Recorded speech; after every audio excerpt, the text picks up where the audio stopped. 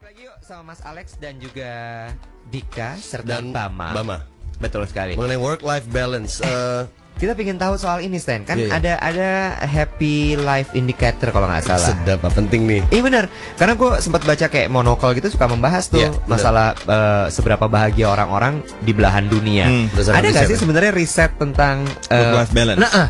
Ada kemarin Dika menemukan dari sebuah media yang benar-benar bisa di eh, kita bisa pakai sebagai referensi silakan Mas Dika. Jadi ini memang khusus untuk membahas eh, mengukur eh, negara-negara yang masuknya ke dalam ekonomi berkembang ya Bam ya. Hmm, oke. Em, ekonomi maju. Ekonomi maju bukan, bukan bukan berkembang tapi udah maju. So ada total kira-kira lebih kurang 30 negara. Hmm. Di mana Asia cuma hanya ada Tokyo dan Jepang yang masuk. Jep- Jepang Eh, dan Korea. Jepang, Eh, Jepang dan, dan eh, Korea. Tokyo. yang yang bagus work life balance ya maksudnya. Oh iya. Oh. Yes. Bukan yang ya? masuk ke ekonomi Oh, eh, ekonomi. Oh, oke. Ah, ah. Nah dari hasil itu work Oh, life ekonomi balance yang diukur parameternya ada dua. Yang Ah. pertama adalah saat dalam satu tahun itu lama waktu bekerjanya berapa lama per orang, di mana rata-ratanya adalah se- 1.800 Se jam se per se tahun. se se se se sebentar. Yang Asia masuk sebagai negara dengan ekonomi maju adalah hanya Jepang dan Korea. Korea. Oke. Oke. Indikatornya adalah tadi Parameternya Eh, ada, parameternya? ada dua. Yang Ah, ah. pertama adalah lama waktu bekerja dalam Ah. setahun itu berapa? Ah. Di mana rata-rata dari 30 negara ini rata-ratanya adalah 1.800 per tahun. Oke. 900 jam. Jam per tahun. Oke. Dan yang kedua adalah parameternya seberapa lama waktu yang juga diluangkan untuk menghabiskan waktu untuk leisure dan juga untuk personal care kayak eh, makan, tidur. Hmm. Kalau leisure lebih kepada Traveling. melakukan hobi dan segala macam. Ah, yes. Dan dari situ 800 jam ya. Ya 1800 jam. Hmm. Yang work life balance-nya paling tinggi terbaik adalah eh, Denmark. Oke. Kenapa ya Denmark itu selalu loh dia paling aman Penduduknya sedikit kali ya. Aman, eh, happy. happy Eh, Yes. work life balance Pendapatan paling per kapita tinggi ya. Heeh. Ya. Denmark Hans Christian Andersen oh, Oke. Oke, oh, apa-apa banget ya. Eh, soalnya di sana sangat memuja Putri Duyung. ada mermaid bisa lempar koin bisa kita lempar rokok Sri Mulat di sini demit. iya demit kembali lagi kepada lempar eh, Jepang sama Korea gimana? Jepang, eh, jadi kita tadi yang tertinggi adalah Ah, Denmark, yang Denmark. terendah itu adalah Meksiko. Mexico. Adalah Mexico. Ya, ada Miss Mexico-nya di sini. Dan kalau Jepang itu ada tiga nomor tiga terendah, sedangkan Korea itu nomor empat terendah. Oh. Dan ulang ulang ulang nomor satu Jep- eh, Denmark Satu Denmark, dua paling oh, rendah, paling rendahnya Meksiko. adalah Meksiko Nomor dua, tiga terendah adalah Ah. Jepang, nomor empat terendah adalah Korea. Jepang karena kan? Mereka Yes. gila banget kerjanya tuh kan. Sama kita Korea juga. berpikir demikian ternyata sehingga yang kemudian kita double check adalah waktu yang dipakai untuk bekerja. Uh-uh. Di karena orang kita Jepang. berpikir gila-gilaan kan. Faktanya adalah jeng jeng jeng jeng. Faktanya Jepang itu adalah nomor dua terendah wak- waktu kerja dalam setahun eh, jumlahnya. So, jadi sebenarnya nggak bahkan banyak-banyak bahkan enggak enggak kalau kita biasa 1800 adalah rata-rata Hmm. dia jauh di bawah 1800 Jepang. Oh. dan Korea juga Korea yang di nomor empat. empat rendah juga. Yes. ada angkanya nggak berapa Jepang tuh? Nggak? S- sampai angka berapa jamnya Ah, ah, setahunnya? Ada. Ada. Oh, dan kita mulai berpikir apanya nih gitu kan? Loh, Heeh, kita apa yang berpikir bahwa mereka sangat-sangat kerja keras dan seterusnya. Mereka suka harakiri itu segala macam kan mas? Orang-orang Jepang probably itu. adalah Oh. dan kita double check ternyata laser time yang dipakai Ah. juga rendah jadi kemudian kerjanya juga nggak banyak Heeh.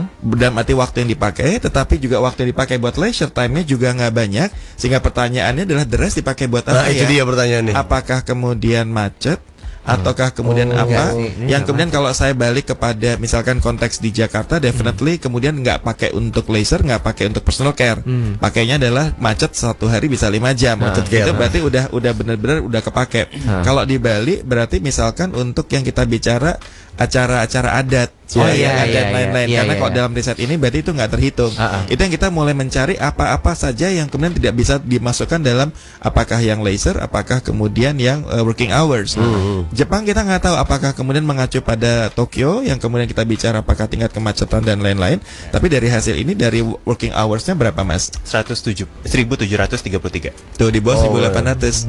Mungkin main Gitu. game kali dia. Enggak ya? Itu leisure termasuk. Dan kalau mau- Karaokean nggak? Karaoke Iya, jadi- leisure time nggak? kalau Iya, iya laser. Laser. Eh, terus apa itu yang namanya eh, yang Onsen. mandi air ya onsen, Onsen. itu juga laser masuknya. Jadi nggak religi juga, nggak have fun juga, tapi jamnya kepake buat apa gitu ya? Heeh, itu Ah. kalau games pasti juga masuk laser. Iya iya iya. iya. Dan yang paling tinggi untuk yang working hoursnya mana Dika? Yang paling tinggi working Rusia. hours-nya itu adalah Rusia. Oh iya. Berapa itu? Berapa? Berapanya Mas Bama? Eh, Angkanya. Rusia ya. Bama 28 Russia.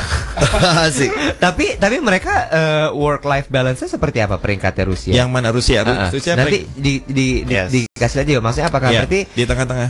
Dah? Di Oh, iya. tengah-tengah karena berarti dari working hours-nya tinggi, tapi laser time-nya juga tinggi. Karena mereka vodka, Mas. Iya. Asik. Jangan lupa Tapi Jepang punya langsung ada rumput di dalamnya Nah. ya. Karena gini juga kalau nggak kerja mereka nggak bisa ngangetin diri kali ya di Rusia kan dingin sekali Dingin kan di bawah gitu. par Rusia itu waktu bekerjanya 1900 1976 jam per tahun. 1900. Ya. Apakah kemudian eh, saya sempat bilang apakah kemudian waktu kerja yang tinggi ini kontrolnya dari tangannya dia atau di tangan organisasi atau atasannya dengan kemudian eh biu. Enggak sih. saya nggak tahu tapi bahwa bahwa apakah situasinya kontrolnya lebih ada di tangan orang lain sehingga dia Iya. harus bekerja seperti itu. Betul. Eh, pemikiran bahwa ini di negara-negara maju, saya juga bertanya kalau di negara berkembang seperti apa gitu. Mas Bama punya pemikiran tertentu nggak? Apakah lebih Iya. karena orang harus bekerja bukan ingin bekerja? Feel free. Kalau kalau misalnya kita di Indonesia kan eh, jam kerja kita sebetulnya dibandingkan dengan banyak negara Eropa tuh lebih tinggi. Bandingkan Iya, dengan Prancis, tahu saya dia 34,5 jam per minggu, sedangkan Iya. kita tuh salah 40 ra- sama kayak Yes. rata-rata di Asia. Tapi dilihat dari productivity kita sering diukur masih lebih rendah. So Oh. pertanyaannya adalah apa? Apakah eh, dengan jam kerja yang panjang itu otomatis translate kepada Hasil. hasil, yang maksimal juga gitu. Itu pertanyaan gue sebenarnya benar. Iya. Apa hubungannya dengan produktivitas gitu kan? Nah, ini ini bener loh. Karena ternyata banyak sekali ininya ya eh, korelasinya antara jam kerja dengan happy-nya mereka, lalu kemudian produktivitas seperti apa? Lu sibuk cuma menghasilkan nggak Nah, gitu? Karena Kayaknya. kalau by culture seperti Spanyol, Itali mereka punya siesta. Yang Oh jam iya, makan- tidur siang. Jam tidur siang Ah, yang dua jam dua tersebut. jam, ah. Tapi dengan dua jam tidur siang tersebut mereka juga kembali ke kantor dan kemudian selesai segar, segar gitu. dan kemudian selesai kantornya juga jam 7 jam 8-an. Tapi mereka aman. selesai dari kantor kemudian dinner langsung sampai ke rumah betul-betul family time Oke, misalkan. oke. Nah, sekarang kita masuk jam saya nggak tahu 8 setengah 9 jam 9, selesai jam 5 setengah 6 jam 6 saya Hmm. nggak tahu, tapi siestanya ada di dalam kantor. Nah, Pantry di pantry. di pantry atau even sampai di depan layar komputer pun dalam tanda petik siesta Tertidur. gitu tertidur. Siesta. mata nanar tapi kemudian tangan tak bergerak di touch. Ya kan? Iya, iya, retina mata mengecil tanda tak fokus melihat apa mulai goyang ke kiri dan ke kanan. Exactly, ser, ser. gitu. Abis ini kita bahas gimana cara untuk membuat hidup kita lebih balance lagi. udah mulai bosan kak Iya iya iya iya. Gak apa-apa. udah mulai nggak balance nih kak kita bahas iut aja rambutnya yuk Kita balik lagi ya ngobrol-ngobrol Ngobrol sama Alex. work life balance. eh, sebenarnya eh, ada karakter orang yang pembosan kan mas ya. Menurut gue dalam hal ini ada bagusnya juga ya. Ya. Kenapa? Artinya ketika dia kerja dia nggak akan panjang-panjang banget. Dan dia bosan dengan kerjanya. Ketika dia traveling dia juga ya mungkin akan berhenti nggak se semaksimal mungkin. Tapi alangkah eh, ribetnya kalau kita nggak bisa membalancekan itu. yes Eh, we work kita selalu ngerasa bahwa ini kerjaan ini nggak pernah cukup buat kita nih. Hmm. Iya nggak sih? Kalau masalah bosenan, in a way uh, saya setuju, tapi ada juga tidaknya karena Yeah. saya pernah ketemu orang yang bosenan, tetapi pada saat dia ngerjakan pekerjaannya juga nggak dalam, pada saat Oh. dia traveling juga nggak dalam. Jadi yang live Oh, to the benar. fullest-nya tuh nggak dapat gitu, sehingga misalkan kita pergi ke kota yang sama atau Hmm. ke negara yang sama, tapi bahkan dia nggak mendapatkannya yang do the max-nya di tempat itu. Iya, iya, ngerti Gitu. saya. Iya Heeh. kan? Itu yang kita bilang bahkan dia juga nggak tahu apa yang dia cari Iya, gitu. iya. Karena terlalu selalu gantung ya. Di pekerjaan pun juga kemudian yang kita bicara bahwa apakah dia dengan 8 jam yang dihabiskan tersebut dia juga ngerasa happy dengan pekerjaannya. Itu itu yang buat saya antara bosenan dan melakukan sesuatu dengan lebih dalam beda. Oke. Gitu. Ya. Sebenarnya harus seperti apa sih Mas jadinya untuk bisa kita membalance Oke. antara pekerjaan dengan kehidupan pribadi Leisure. kita? Buat saya eh, saya pakai beberapa tips praktis. Nanti mungkin Mas Bama saya nggak tahu apakah mau mensaringkan sesuatu juga.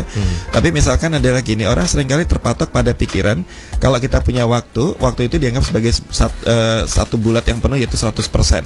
Buat saya kenapa nggak memiliki dua kali 100%? Sehingga kemudian apakah kemudian kita hanya punya waktu berapa jam satu hari? Saya ingin dikalikan dua. Contohnya, balance life buat saya adalah bukan membagi waktu mana yang buat kerja, mana yang buat kehidupan pribadi saya. Saya bahkan bisa merasakan kehidupan paralel nih Kak Steny. Contoh, Um, kalau saya lagi habis beli buku Les Miserables buat Zoe, memang biasanya saya beli dua buku, dua buku yang sama. Saya satu saya kasihkan Zoe, satu saya bawa. Sehingga pada saat saya lagi ada di luar kota atau misalkan buku itu saya bawa bersama saya di mobil dan lain-lain, sering kali saya suka suka SMS dia, sweetheart sudah sampai halaman berapa? Ah. Terus saya bilang halaman 27, terus saya bilang ah ketinggalan nih saya baru halaman 25. Ah. Gitu. Tunggu nanti malam ya, udah sampai halaman berapa dan kita ngobrol bareng soal buku itu. Ah. Saya membedakan antara keberadaan dan kehadiran. Kehadiran secara fisik itu yang sering kali dipermasalahkan dari work life balance. Hmm. Buat saya yang lebih saya pertanyakan dan perjuangkan adalah keberadaan di hati. Oke. Sehingga buat saya, walaupun saya ada di kantor, Zoe ada di rumah atau di sekolah, tapi kemudian saya tetap bahwa kita bisa ngobrol dan nyatu. Hmm. Itu yang saya bilang bahwa saya bisa memiliki waktu yang 100% dan 100%. Oke. Gitu. Wow, nice ya. Oke. Artinya tahu gitu loh ya. Iya, iya. Eh Dika mungkin ada yang mau ditambahkan Iya, nggak? silakan, soal- silakan. Ah, Bama, silakan. Bama, Bama. Oh iya, kamu tadi mau cerita soal exp- apa pengalaman ya? Em, gini dulu saya itu tipe orang Dulu saya juga gitu. Nah, ngomong dulunya gini. Dulu saya itu pedagang cendol. Gitu. Itu gimana? Oke, dulu saya termasuk orang yang cukup strict soal jam kerja. Saya pengen, saya tuh tipe yang pulang tenggo. And I thought I had I had a li- a balanced life gitu. Tapi ke sini-sini dengan saya merasa kok tiap kali bekerja, tiap kali datang kantor, perasaannya kok kayaknya yang, aduh kantor lagi kerja, aktivitas gitu lagi ya. gitu kan. Eh, sampai saya waktu itu pernah diskusi dengan Mas Alex juga sampai pada kesimpulan bahwa kalau kita misalnya di kerja itu nggak happy kita nggak kita cuma fokusnya adalah jam pulang tenggo untuk punya eh, waktu yang balance tapi kita sendiri kalau pu- pulang ke rumah apakah membawa cerita bahagia buat orang Ya. buat keluarga kita buat teman-teman kita atau mereka tiap hari di sharingkan cerita aduh gue stres gue ini gue ini gitu gitu Hmm. apakah kita akan happy kalau kayak gitu gitu jadi Hmm. dari situ saya mulai, mulai mikir ah oke so the point is bagaimana dengan waktu yang kalau memang mau pulang tenggo bagaimana dengan waktu yang tersedia itu kita kerja efisien efektif dan bikin nggak cuma diri kita happy tapi tim yang kerja dengan kita juga happy juga Hmm.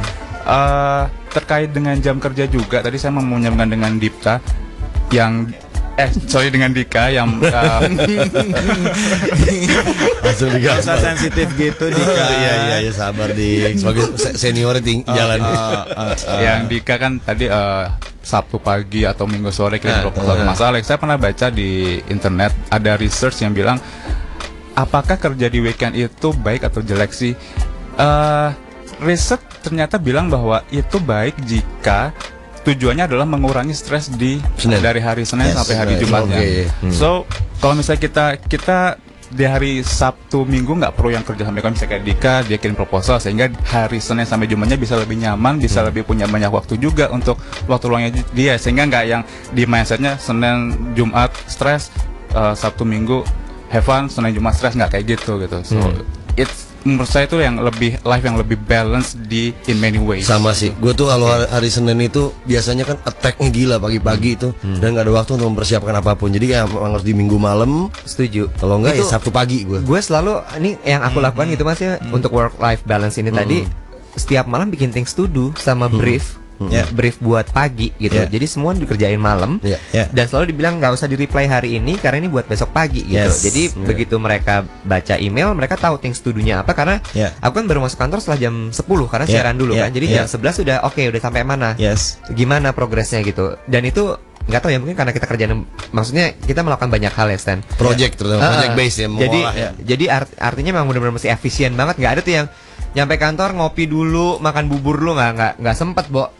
Kalau kita cuma kan? kerja sama semut-semut di pohon sih nggak masalah. Urusan- urusannya mereka mau belok kiri belok kanan. Tapi Bener. karena kita bertanggung jawab sama tim juga, Heeh. kalau leadernya juga tidak bisa memanage priority, juga akan kemudian bikin orang bikin hidupnya orang lain juga ikut neraka juga Iya, karena iya, nggak iya. jelas mau Betul. ngapain dan begitu udah sampai mepet banget semua orang pada marah-marah Mm-mm. gitu. So ya. Oh iya tuh. Tutupannya Mas. Tutupan megah. Betul untuk work life balance ini. Gimana? Tentunya yang eh, tembakan-tembakannya udah disatukan. Inyut, Ingat lagi. Ini buat konfeti atau- nggak ada yang nggak usah Konfeti. konfeti nggak usah nyut eh, ganti warna rambut aja dulu. Oh, itu input buat Inyot tuh. Cobain deh, magenta warnanya ya. Orkestra kalau mau kita. Penutupnya cuman singkat. Eh, adalah paradigma apakah hidup kita punyanya 24 jam satu hari apakah kita pernah meminta menjadi 28 jam sehari atau sebetulnya dengan kontrol di tangan kita kita bahkan punya 48 jam sehari dengan kita bilang kenapa harus 100% kenapa nggak punya dua kali 24 jam dengan cara paralel? Itu satu. Yang kedua sebagai penutup sejalan dengan apa yang disampaikan Mas Bama adalah buat saya gini nggak bisa yang namanya misah-misahin hidup antara kerjaan dan kehidupan pribadi. Oke. saat kemudian kita bilang saya betul-betul hanya mau fokus pada kehidupan pribadi dan keluarga saya yang bikin saya happy, tapi di pekerjaannya juga nggak optimal, sehingga buat saya pada saat apa yang disampaikan Mas Bama pulang ke rumah atau ke orang yang disayangi tidak dengan perasaan happy, energinya juga kurang. Iya, dan pada saat di kehidupan pribadi juga nggak happy dan tidak dibuat happy, pekerjaan pun jadi rungsep. Nah itu yang kita bilang nggak balance adalah pada saat kita nggak bisa mengintegrasikan dengan total kehidupan-kehidupan yang kita punya tersebut. Oke. Oke, nice. Nice one. Dan jangan paruh hati ya Kak Iwet ya. Luar biasa sekali. Iya, eh, sehingga akhirnya melahirkan satu hal namanya happiness. Kalau menurut gue happiness adalah you get paid over something that you like doing in. Yes. Bahkan lo nggak dibayar juga nggak apa-apa. Betul. Gitu ya. Setujunya ya. Oke, Mas Alex terima kasih banyak. Thank you Mas. Thank you. Dika, ya. thank you. Bama. Bama, thank you. Ya. Gak minta oleh-oleh dari Taiwan. Oh iya Taiwan. gue minta barang barang ini aja deh barang murah-murah. imitasi imitasi. There you go. Now, are you ready to break through? Cosmopolitan Career with Alexander Sriwiono is presented by 90.4 Cosmopolitan FM. Cosmopolitan FM.